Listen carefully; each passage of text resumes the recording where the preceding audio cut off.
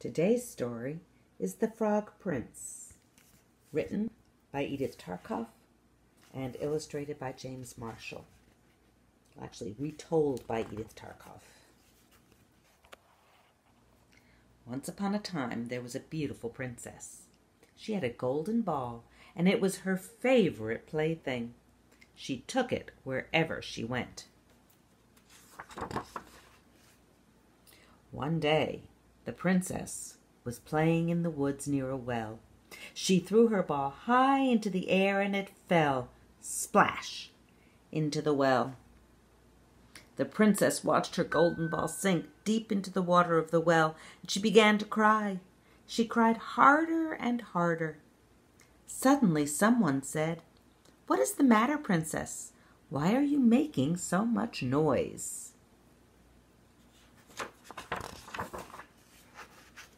The princess looked around. She looked into the well. An ugly little frog was looking up at her. The frog asked again, What is the matter, princess? Oh, it's you, you old water splasher, the princess said. My golden ball has fallen into the well. That is why I'm crying. Stop crying, said the frog. Maybe I can help you. Will you what will you give me if I get your ball for you? I will give you whatever you want, dear frog, said the princess. Would you like my fine silk dress? Or my necklace of pearls? Or would you like my golden crown? No, said the frog. What would I do with your fine silk dress or your necklace of pearls? And what would I do with your golden crown?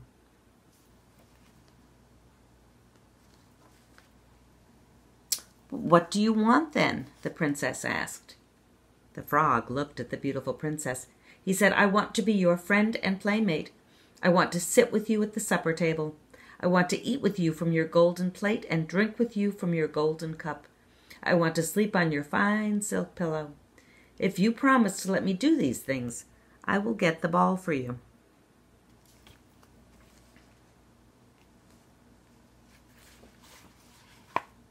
The princess said, I promise. She thought, how can this nasty little frog come to the castle and be my playmate? He has to stay here in his well. And she said again, I promise. Now the frog went down, deep into the well. Soon he came up with the golden ball in his mouth.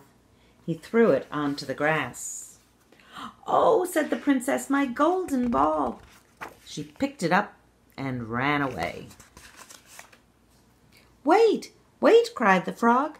Take me with you. I can't go as fast as you. But the princess did not wait. She ran home to the castle, and soon she forgot all about the poor little frog.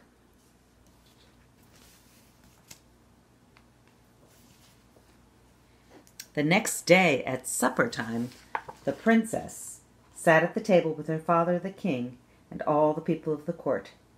Suddenly everyone heard some strange noises outside. Splish, splash, splish, splash.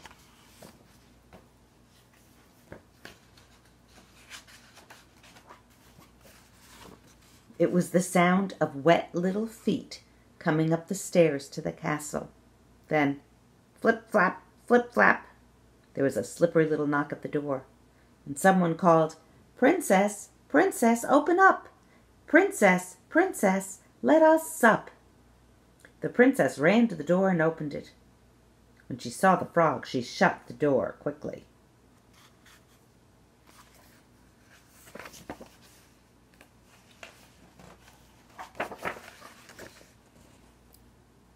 The princess came running back to the table. The king looked at her. What are you afraid of, daughter? He asked. Is there a giant at the door who wants to carry you off? Oh, no, father, said the princess. It is not a giant. It's a nasty little frog.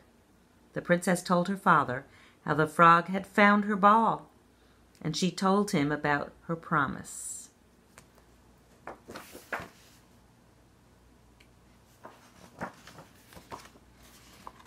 I promised him I would let him be my friend and playmate, she said but I never thought he could come out of the well.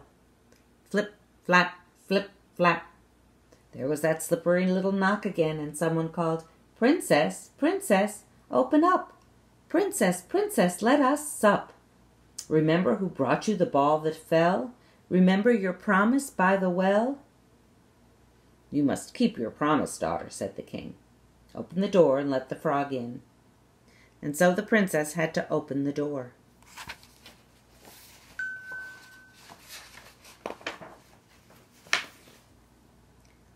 The frog hopped in and followed her to the table.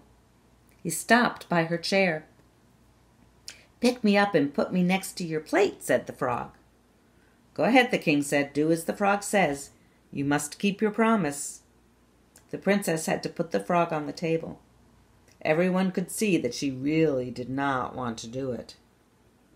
The frog ate with the princess from her golden plate, and he drank with her from her golden cup. The frog liked his supper very much, but the princess could not eat a thing. She's as green as the frog.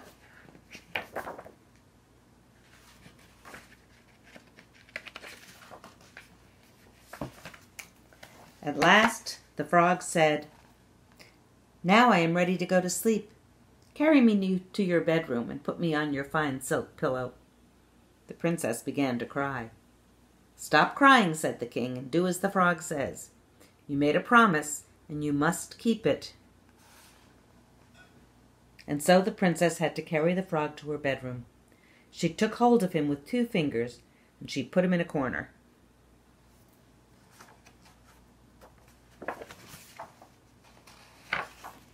But the frog said, I am tired.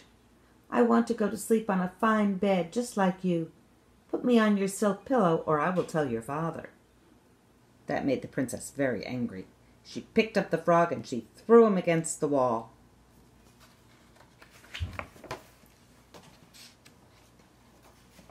But when he fell to the floor, the frog was no longer a frog. Now he was a tall prince with beautiful kind eyes, and he was smiling at the princess. A wicked witch turned me into a frog, he said, but now the spell is broken. The very next day the prince and the princess were married. A golden coach with eight white horses drove up to the castle. The prince now took the princess to, to his own land, and they lived there forever, happily ever after. Hope you enjoyed the Frog Prince. Love you.